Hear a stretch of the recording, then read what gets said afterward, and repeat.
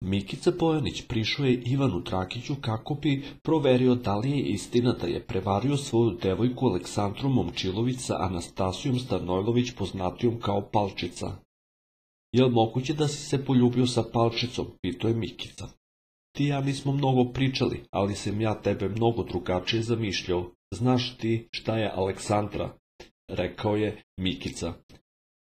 Mi bolesni muškarci ne znamo ni šta hoćemo, ni šta nećemo i šta nam treba i šta nam ne treba, rekao je Ivan. Ona je jedna duša, jedino ako nisi hteo, ali mi ne ličiš na tako nekog, rekao je Mikica. Ne znam šta bih ti rekao, ja sam spreman da me sutra ljudi osuđuju i to je to, rekao je Drakić.